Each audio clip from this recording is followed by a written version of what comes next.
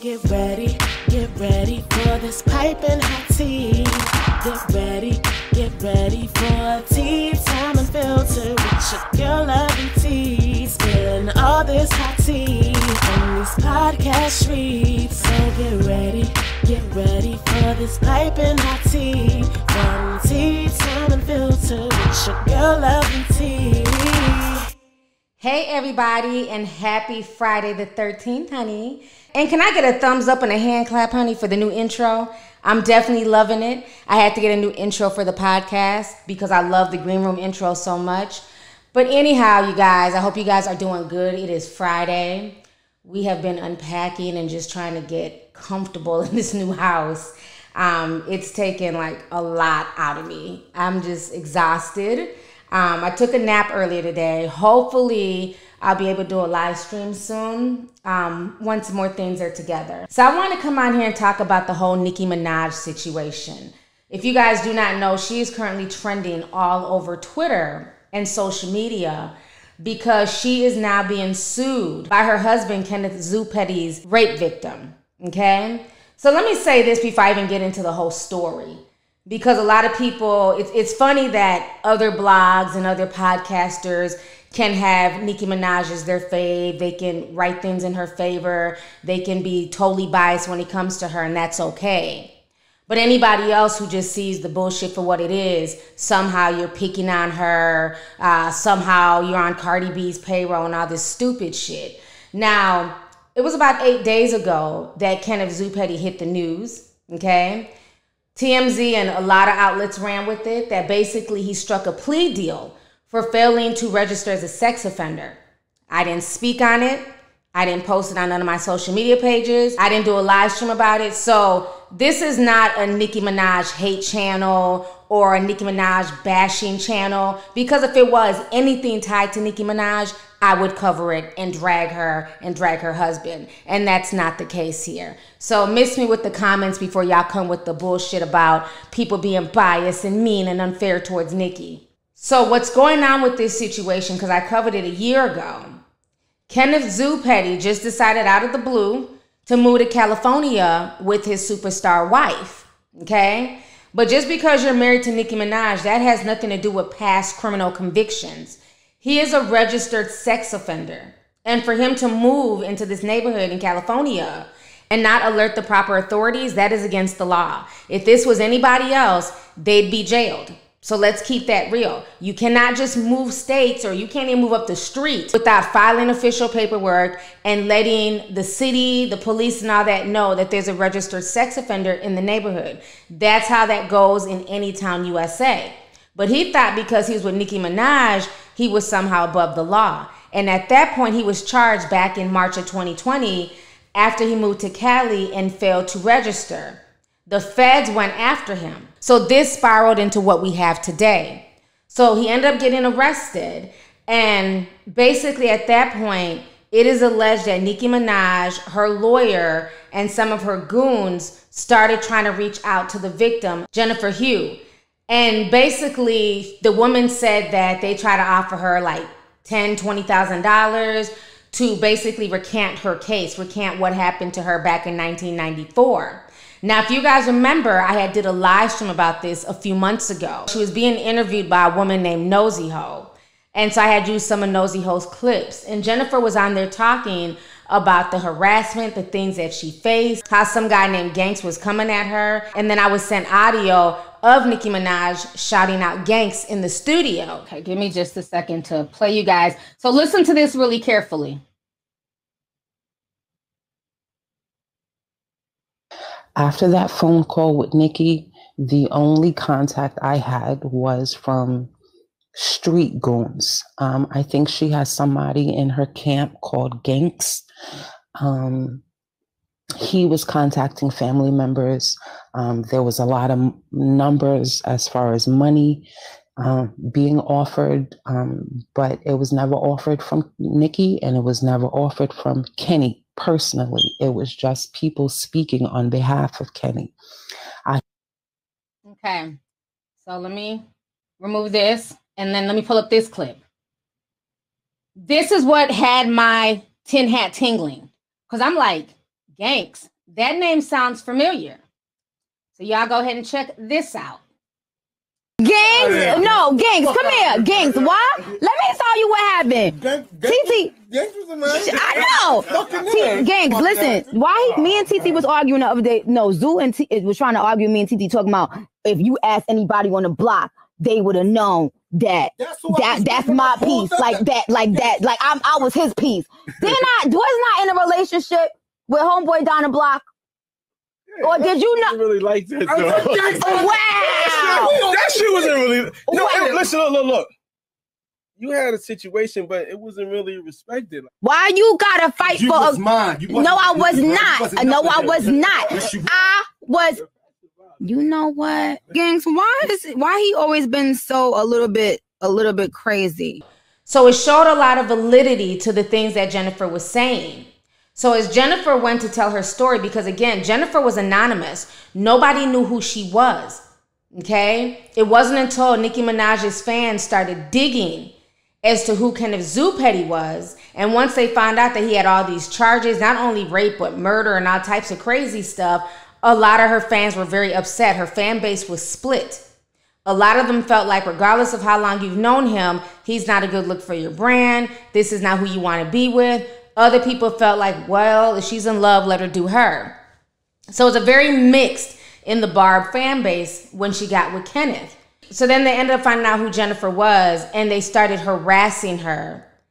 And, you know, she didn't really say anything back then until the feds ended up contacting her about this whole situation with Kenneth Zoo Petty not registering. It basically tore a band-aid off of old wounds that happened to her back in 1994. So let me go ahead and read to you what the New York Times is stating about this entire situation. TMZ and a lot of major publications are also covering this situation as well. So it says here a woman who accused rapper Nicki Minaj's husband, Kenneth Petty, of sexual assault during high school filed a lawsuit on Friday against the couple, alleging that they harassed and intimidated her while trying to convince her to recant her account. The case dates back to 1994 when Jennifer Hough was 16 and reported to the police that Mr. Petty, a 16 year old she had known growing up in Jamaica, Queens, had raped her after leading her into a home at knife point, the lawsuit says. Mr. Petty was arrested that day and was charged with first degree rape and subsequently pled guilty to attempted rape. Kim Livingston, a spokesperson with the Queens District Attorney's Office, stated that he served about four and a half years in prison, according to the inmate records. According to the lawsuit filed in the U.S. District Court for the, East, for the Eastern District of New York, Miss Hough, who is now 43, and her family members started to receive communications from people claiming to be connected with Miss Minaj and Mr. Petty shortly after Petty was arrested for failing to register as a sex offender in California. The lawsuit alleges harassment, witness intimidation, as well as intentional infliction of emotional distress by Miss Minaj and Mr. Petty, and seeks an unspecified amount of damages. It also alleges a sexual assault and battery case against Mr. Petty from the mid 90s case. A representative for Miss Minaj did not immediately respond to requests for comment. A lawyer for Mr. Petty named Michael Goldstein declined to comment on the lawsuit. The lawsuit says that the intermediary offered Ms. Hough $20,000 in exchange for signing a prepared statement recanting the accusation. At one point last year, the lawsuit says Miss Minaj called Miss Hough saying that she heard that Miss Hough was willing to help out. Days later, it says that Hough and her family members received an onslaught of harassing calls and unsolicited visits from people she believed to be associated with the couple. They also go on to say Miss Hughes has not worked since May 2020 due to severe due to severe depression, paranoia, constant moving, harassment, and threats from the defendant and their associates. The lawsuit said she is currently living in isolation out of fear of retaliation. According to the lawsuit, Miss Hough was on her way to school on September 16, 1994, when she ran into Mr. Petty, a boy that she knew from the neighborhood. The lawsuit says that Petty held a knife to her back as he led her to as he led her to a house around the corner where Miss Hughes said he raped her. The suit says Miss Hughes escaped and ran to her high school and told the security guards who called the police. In an interview, Ms. Hughes said that the case was prosecuted. She faced harassment and retaliation in the neighborhood, prompting her family to force her to attend a court hearing for Mr. Petty and request that the charges be dropped, a request that was denied at the time the suit says. Mr. Petty had already accepted the plea deal. Miss Hughes said in an interview that she left New York City that she left New York City after the ordeal. For years, it remained in the past. I didn't think it would be something that would come back and slap me in the face 20 years later. But in 2008, Miss Minaj, a chart topping rapper with a fiercely loyal social media following, okay, keep that in mind, posted about her relationship with Mr. Petty on Instagram and questions about his status as a sex offender surfaced. Miss Hughes said in an interview that she had spoken to YouTube bloggers to defend herself in response to an Instagram comment from Miss Minaj that stated that Miss Hough and Mr. Petty had been in a relationship at the time of the assault and that Mr. Petty was younger than Miss Hough. They were never in a relationship and they were the same age according to the lawsuit.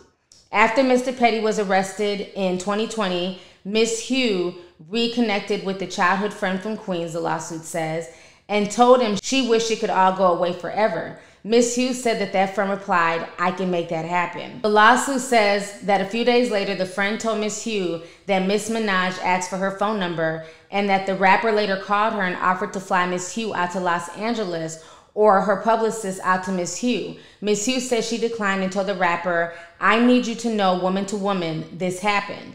The lawsuit says that there was a series of encounters where Miss Hughes or her family members were offered inducements if she would recant. 500,000 at one point, 20,000 at another, with a proposed bonus that Miss Minaj would send a birthday video to Miss Hughes' daughter, and Miss Hughes said she declined. Miss Hughes said in an interview that she, that she never expressed interest in a bride and was adamantly against recanting her story. If I lie now and say that I lied then, do you know what I'm going to say to my two little girls or even my sons? Miss Hughes said in an interview that at one point she told the intermediary that the $500,000 was not good enough. She says she's been trying to deflect the conversation, not to express interest in a bribe. Tyrone Blackburn, okay? Y'all remember him? He's the same guy from the T.I. case who has a lot of women who are now filing sexual harassment uh, lawsuits against T.I. So Tyrone Blackburn, a lawyer representing Ms. Hughes, says that Ms. Hughes' comment was an effort to dissuade the intermediary from thinking she would accept anything. At one point last fall, the suit says that Ms. Hughes was contacted by a lawyer for Mr. Petty, who asked her about a recantation letter in response to threatening calls and her own growing paranoia. The suit says that Ms. Hughes moved three times in one year. I feel like I'm living in secret, she said in the interview, like I can't tell people my exact location. So that is the article. And I want to go ahead and show you guys why it's hard for me to feel bad for Nicki or look at her as a victim of circumstances in this situation because Nicki involved herself when she didn't have to. At the end of the day, a man is going to tell you anything, especially when pillow talking. Of course he's innocent. Of course it's not what it seems. So he can tell her anything, but at the end of the day, Nicki Minaj was not there. So for her to take to social media and act like she knew the case in and out when that wasn't the situation makes her look bad.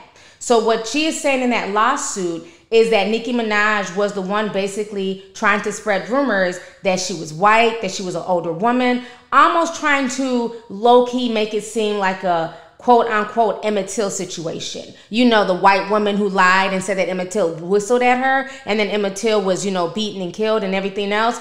Yes, this situation is not as extreme, but that is the picture that Nicki Minaj was trying to paint. And matter of fact, here's the receipt. A lady named Anna Doll says, wait, y'all are calling this man a rapist, but it happened in 1994, meaning he was 16 or 17 and the girl was 16 years old. Must have been a white girl.